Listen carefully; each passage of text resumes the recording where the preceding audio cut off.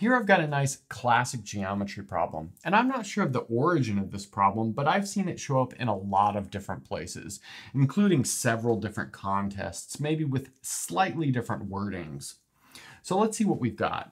We want to find the angles alpha, beta, gamma of all possible triangles where tangent of alpha, tangent of beta, and tangent of gamma are all positive integers. So I mean natural numbers here.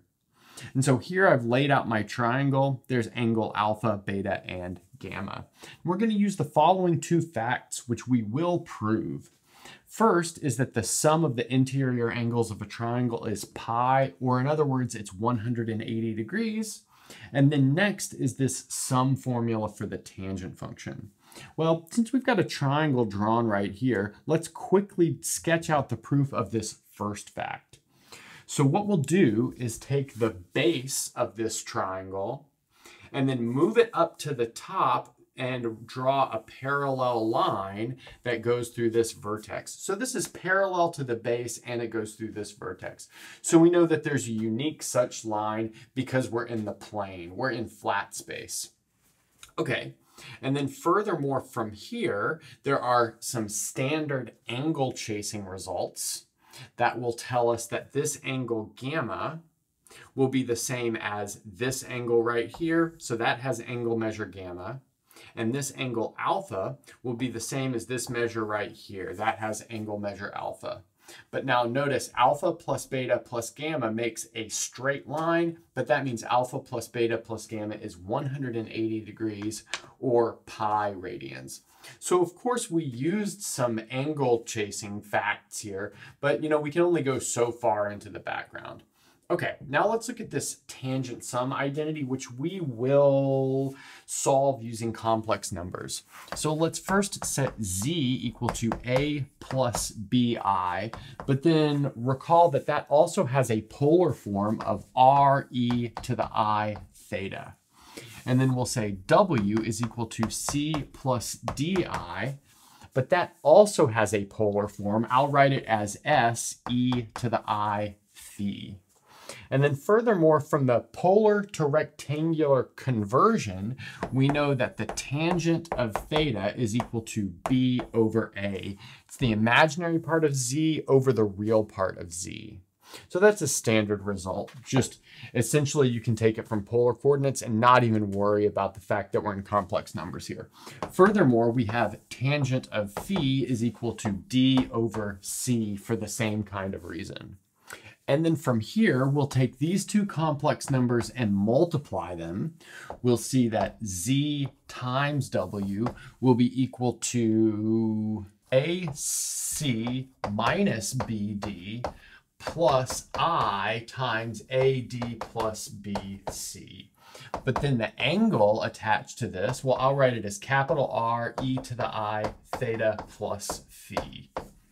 So that gives us some motivation of how to find the tangent of theta plus phi.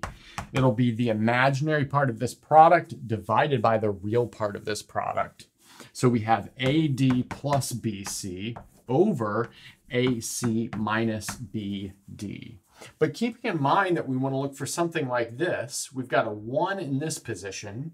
So let's maybe multiply the numerator and the denominator by 1 over AC.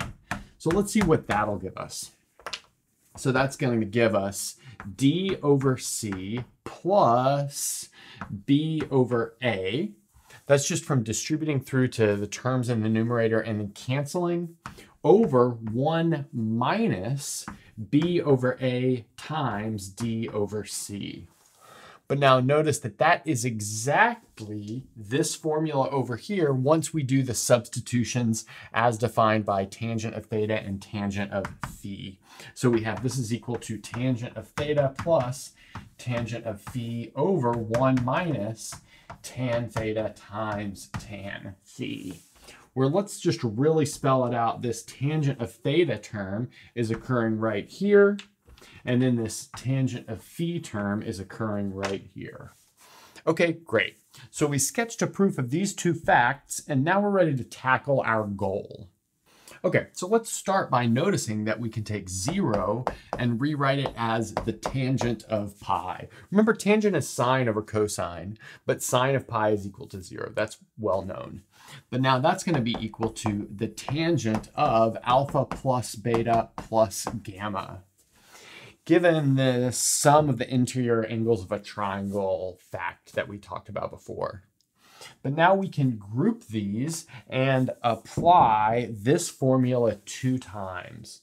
So let's group them like this first. So we'll have tangent of alpha plus beta and then plus gamma.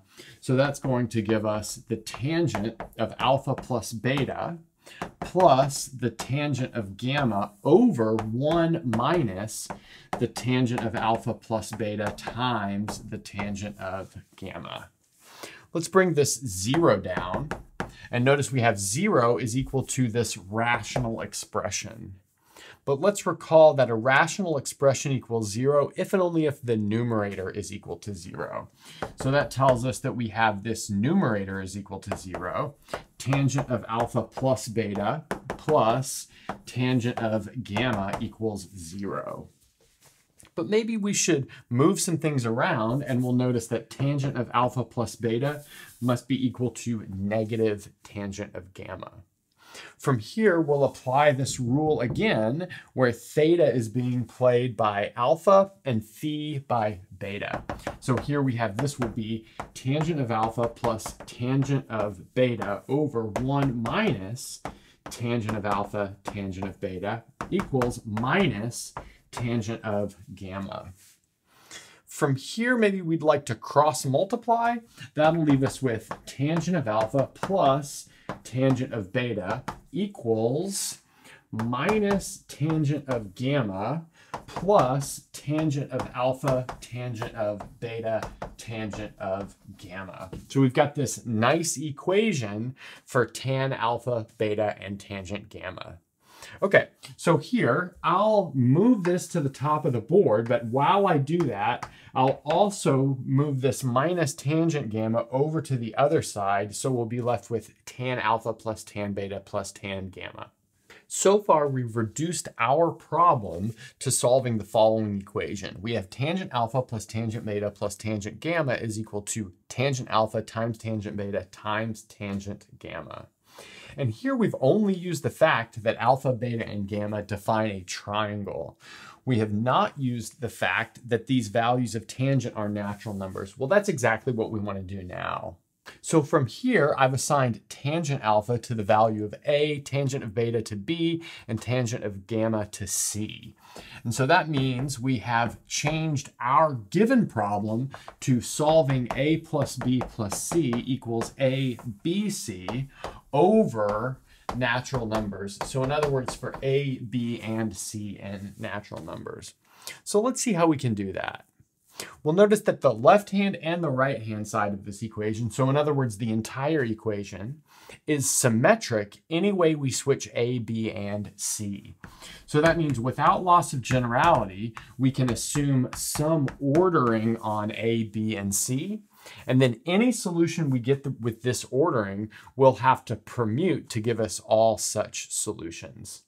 So here we've got A is less than or equal to B is less than or equal to C. Okay, so notice that that tells us that A, B, C, which is equal to A plus B plus C, is less than or equal to C plus C plus C, which is obviously equal to 3 times C. So what I did is I just replaced A and B with the largest thing, creating an inequality.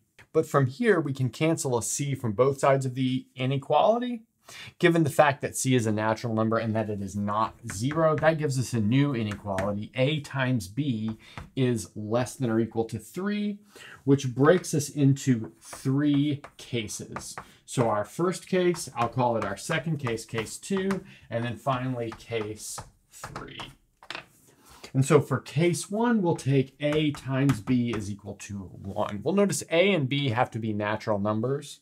So 1 would be the first possible natural number, obviously. Our second one will be a times b equals 2, and our third one will be a times b equals 3. And we're in luck here because there's only one way to multiply a pair of two natural numbers and achieve 1, 2, or 3. That's because 2 and 3 are primes, and 1 is obviously playing a very special role here. So if a times b is 1, that means a is equal to b is equal to 1. We can throw that into our original equation and we'll have 2 plus c is equal to c. But that tells us that 2 is equal to 0. But that clearly doesn't make any sense at all. So this case does not give us a solution. Okay, so now let's move on to this second case. So that's when a times b is equal to 2. Recall that we started by assuming that a is less than or equal to b. That means a must be equal to 1 and b must be equal to 2. Okay, plugging that into our original equation, we'll see that 3 plus c is equal to 2 times c. Okay, but that means that c is equal to 2. So that means A, B, and C can take on the values 1, 2, and 3, and then all permutations. So I'll just make that squiggly loop to say that, that we're also taking all permutations of the numbers 1, 2, and 3. Now let's look at the case when A times B is equal to 3. So that means that A is equal to 1, B is equal to 3. Putting that together, we see that 4 plus c is equal to 3 times c. But solving, that tells us that c is equal to 2. Again, that looks like the same solution we have here up to permutation, but given the fact that we started with this assumption of the ordering, and now we have c is less than b, we actually get no solution from this case. Okay, so that means we've got solutions for A, B, and C. Now we just have to write those in terms of the angles. So let's maybe clean up the board and we'll do just that. So we just determined that our solution triple ABC had to be equal to 1, 2, 3. But notice that means that tangent of alpha equals 1, tangent of beta equals 2, and tangent of gamma equals 3. And I should say and all permutations, but I won't write those up. I mean, essentially, when you take permutations, you're really just talking about maybe like transforming the triangle, maybe by rotation or reflection. I'll let you guys think about this. We'll just focus on this solution. Okay, but if tangent of alpha is equal to 1, that means that alpha is equal to the inverse tangent or the arc tan of 1, but we actually have an angle for that. It's pi over 4. But the other two we don't have nice closed forms for. If tangent of beta is 2, then beta is the arctan of 2, and then gamma is the arctan of 3 for similar reasons. So in the end, we have solutions of alpha equals pi over 4, beta is inverse tangent 2, and gamma is inverse tangent 3, and then we can take all permutations. But again, taking all permutations is really just doing a symmetry of the original triangle. And that's a good place to stop.